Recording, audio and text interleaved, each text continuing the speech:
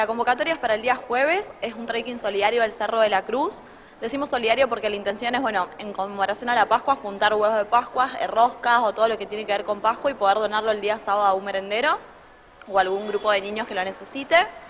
Eh, el trekking es un trekking sumamente tranquilo, en realidad es algo bastante conocido para todos los, los ciudadanos en sí del Cerro de la Cruz. La idea es juntarnos a las 17 horas la inscripción simbólica va a ser, como te decía, un huevo de Pascua. Eh, nos juntamos 17, 17.30, vamos a estar arrancando. El trekking es bastante moderado, tranquilo, la velocidad igual. Poder ver el atardecer en el camino y antes de las 9 de la noche aproximadamente estar abajo. ¿Dónde se van a juntar para comenzar la caminata? Bien, nos juntamos en la nueva base del Cerro de la Cruz.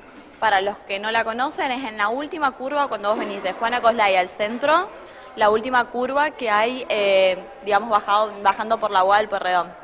De cualquier manera, mi teléfono es 266-477-2736. Yo les pido que se traten de inscribir, que se, se comuniquen conmigo, les voy a compartir una información y les voy a brindar también la ubicación. Hay que tener algún tipo de preparación física, estar en estado para subir este cerro. Hay mucha gente que hace mucho que no va o nunca o no practica ninguna actividad física y le da miedo hacerlo. Bien, en principio es una actividad bastante para principiantes, es un cerro muy tranquilo y como te digo, la velocidad que vamos a ir es muy tranquilo.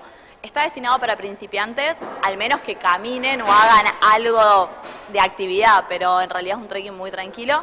También están los que quieran colaborar con su huevo de Pascua o rosca, que se comuniquen con nosotros aunque no quieran hacer el trekking, porque en realidad la idea es juntar lo que más podamos para que llegue a los que más lo necesitan, en realidad a unos niños.